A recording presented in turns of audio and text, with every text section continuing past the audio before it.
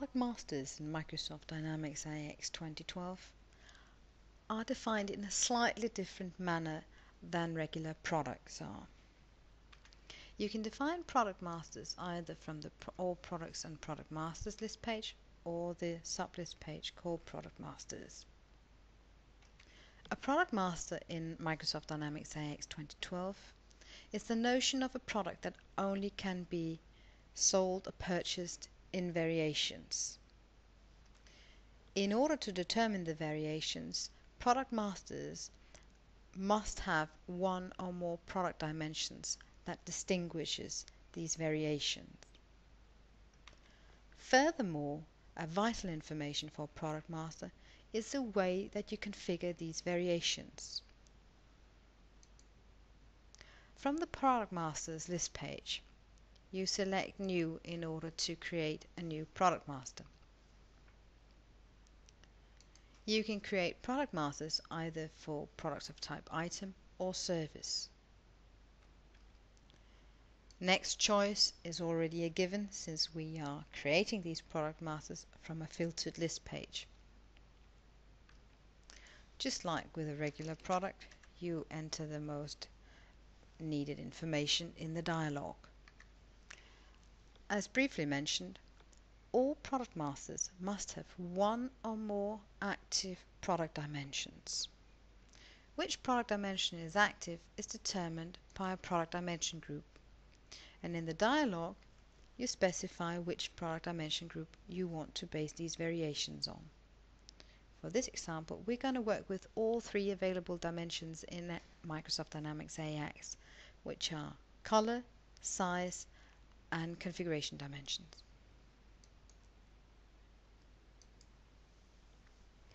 You now need to determine how these variations are going to be created. You have the choice between four different ways of configuring variations. The predefined variant option allows you to create your variant lists manually. So you will know of all the variations possible for your product master. You can create them when you go along or you have them up front.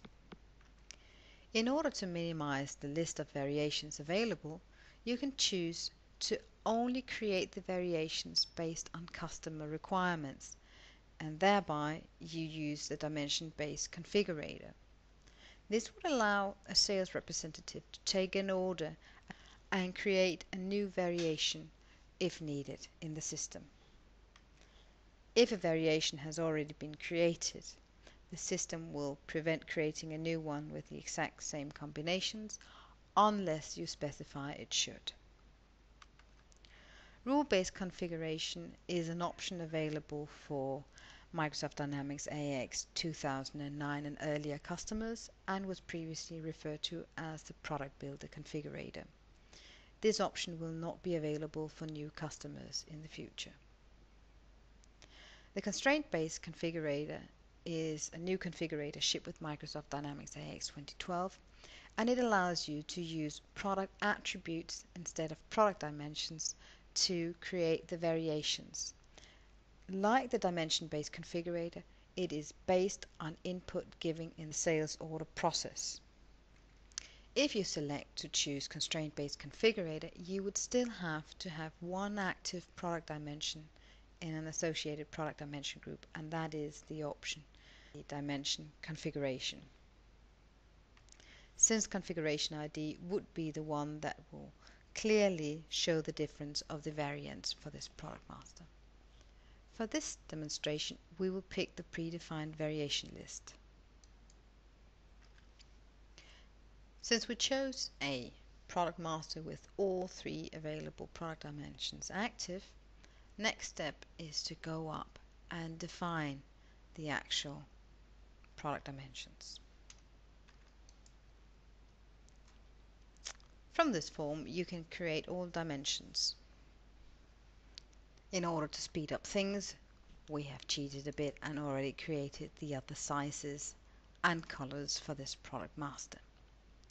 Now with all these dimensions you have a variety of combinations now available. Since we chose predefined variations, as the way to configure this product master, we will now go up to the variants and try to create the ones that should be available. There are two ways of creating these variations. Either the traditional way of just selecting new and then picking the actual dimensions or you can select the variant suggestions action. This action will already trigger the system to figure out what kind of combinations are available based on the dimensions you've keyed in and you can select all or parts of these variations that should be available. Next, you can select to create them and the system will create them up front. For each variation you can describe it further and you can add a specific product image so that you can in this case illustrate that the plasma television model 02 can be sold in either silver or in black.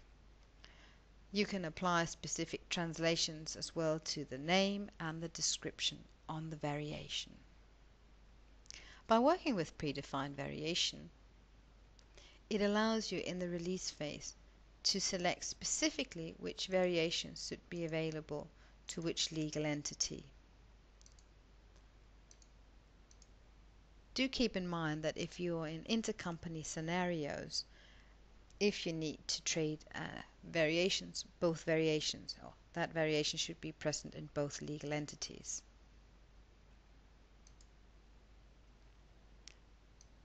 We'll be releasing some of the variations along with the product master. As you can see, after I've done an F5 update, you have the legal entities that have this product master available, and you would be able to see what kind of variations are actually available for this product master. This fact box does not filter based on the legal entity. It is to show you the full list of variations available for a Product Master. As you can see, the product number itself is a concatenated ID that will explain to you the IDs of the actual dimension and thereby make up the variation ID. I have now created the product master based on the predefined variant configuration technology option.